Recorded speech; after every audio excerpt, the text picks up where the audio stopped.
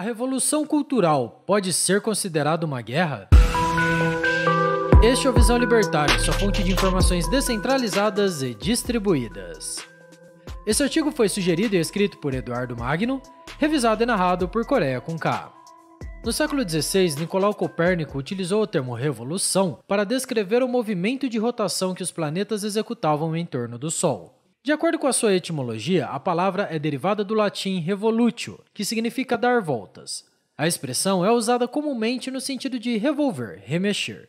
Mas, diferente de uma reforma ou ajuste, o termo foi empregado para indicar uma mudança abrupta e imediata. Agora, o que seria cultura? Cultura é tudo que a sociedade cultiva e cuida: as crenças, os valores e os costumes catalogados. Dessa forma, a revolução cultural representa uma mudança abrupta nos valores de uma sociedade. A ideia seria trocar algo que está presente e que não funciona perfeitamente por algo idealizado na cabeça das pessoas e que normalmente é falho. Mas se analisarmos com atenção a revolução, cedo ou tarde, ela acaba deixando a sociedade onde ocorreu o impacto em uma condição pior. Um dos motivos disso é devido às revoluções serem artificiais, ao contrário das evoluções naturais. Elas provocam uma mudança tentando substituir valores desconectando-se do modelo passado. Diferente do que tentam fazer acreditar, as revoluções ocorrem de cima para baixo. Um determinado grupo impõe novos valores à força, muitas vezes exigindo que aquela sociedade adote uma nova cultura ou modo de vida.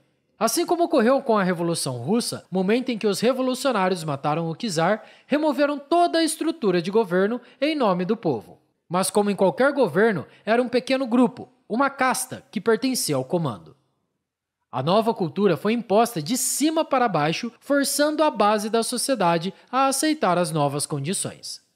Foi na Primeira Guerra Mundial que notaram um erro na teoria de luta de classes. Contrariando as previsões de Karl Marx, os proletários lutaram ao lado dos patrões contra o inimigo em comum.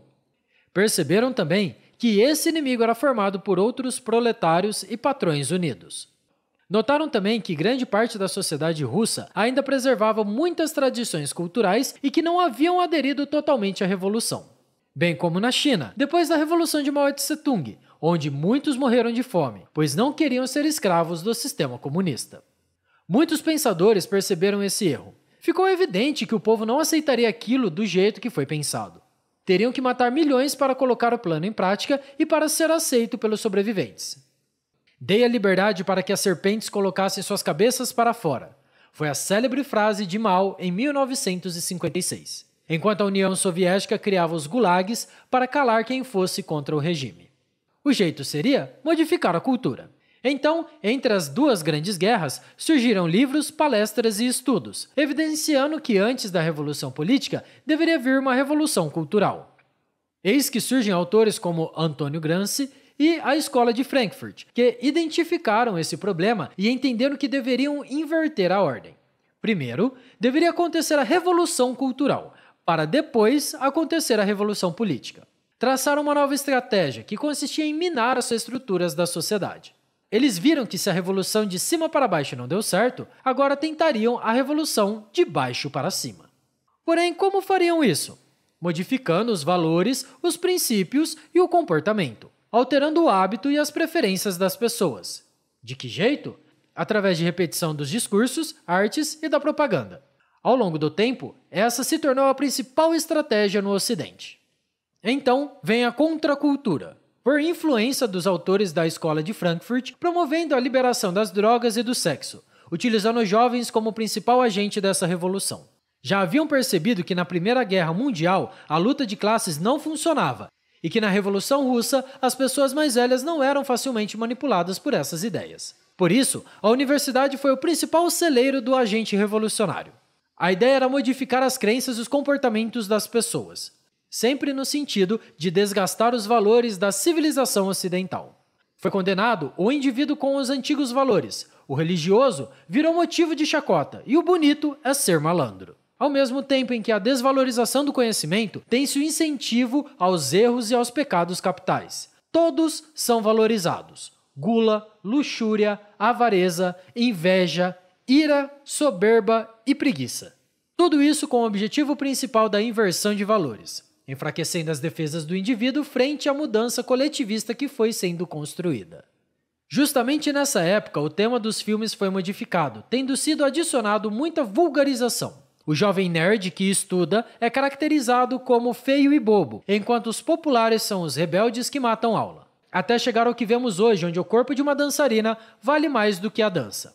Essa é a essência da revolução cultural. A unificação do padrão moral é denominada pelos governos e pela mídia progressista. O cientificismo vale como uma religião. O especialista vira um novo guru. Isso acontece em todas as camadas sociais. As proposições são tão absurdas que podem ser consideradas insanidade.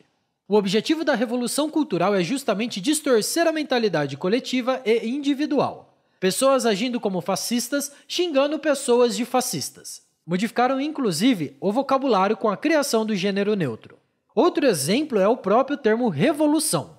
Antigamente, a palavra era designada como algo pejorativo, uma mudança sangrenta. Hoje, é utilizado para dizer algo benéfico e positivo. O cientista revolucionou a ciência. Esse carro revolucionou a indústria automobilística. Essa inversão de significado pretende também inverter os valores culturais, desequilibrando o indivíduo. O politicamente correto criou o preconceito linguístico. Não se pode corrigir as pessoas, pois corremos o risco de sermos cancelados. Isso certamente é uma tentativa de deixar as gerações mais burras. Desde sempre, as informações foram distribuídas com a chancela do Estado. Tudo que a população ficava sabendo em larga escala chegava por meios de alguma ligação com o governo. Desde os primeiros escritos sumérios, a pauta do Jornal Nacional, a base da sociedade se informa através da comunicação com alguma relação estatal. A descentralização da informação já está em andamento, e esse movimento vem conseguindo levar informação desvinculada de governos. É um caminho sem volta. Quem não entende isso, provavelmente exigirá o pagamento de imposto em Bitcoin.